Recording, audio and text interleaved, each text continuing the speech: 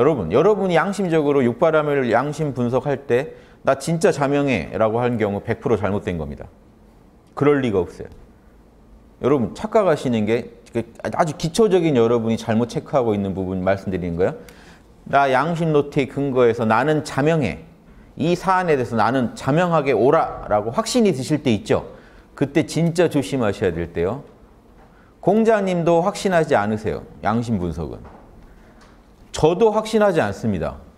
근데 어떻게 양심 분석을 몇 번 해보시더니 나는 자명해라는 말이 나오는지 저는 진짜 궁금해요. 어, 저는 감히 그런 말 못합니다. 왜? 늘 찜찜해요. 늘 찜찜한데 겨우겨우 조금 더 나은 자명 찾아다니는 사람이 전데 어, 저한테 양심 지도를 잠깐 봤더니 전 자명합니다 하고 저한테 사실 대들어요. 많은 분들이. 공자님이 제일 힘들어한 게 양심 분석입니다. 근데 여러분이 어떻게 어떻게 잠깐 써보시더니 난 자명하다라고 외치실 수 있는지 난 잘못됐다라고 외치시는 거예요. 그 얘기는. 심각한 얘기입니다. 이 얘기. 이 얘기만 안 하셔도 여러분 기본은 돼요. 양심 분석을 제대로 해보셨다면요. 내면에서 울리는 찜찜의 신호를 못 들으실 수가 없는데 어떻게 당당하신지.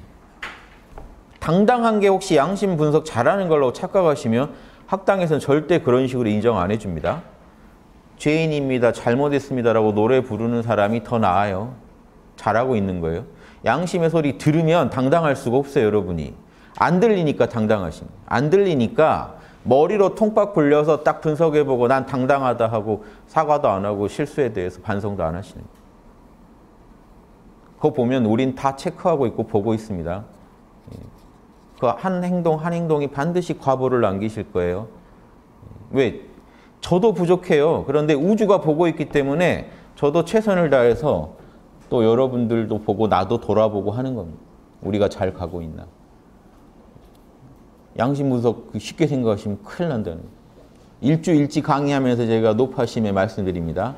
일주일치 강의 들으시고 정말 솔직하게 진솔하게 자기 내면을 돌아보면서 공부하시는 계기로 삼으시라.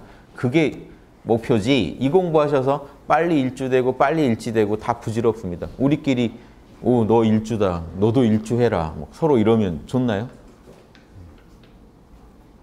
지옥 갈래? 함께 갈까? 뭐 이런 서로 자기들끼리 어깨 동무하고 함께 신나서 지옥으로 달려가는 왜? 자기도 망 자해 해타. 자기도 망치고 남도 망치니까. 진솔하게 하세요. 여러분 내면의 소리 못 들으시면 답이 안 나옵니다. 예.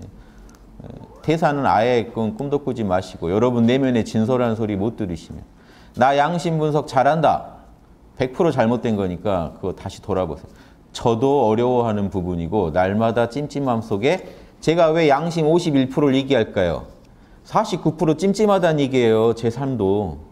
51% 자명 붙잡고 겨우겨우 가고 있는 제 입장에서 어이 저 뒤에서 이제 막 양심 분석 보, 노트 보급받은 양반이 전 100% 자명합니다. 그러면 100% 잘못됐습니다죠.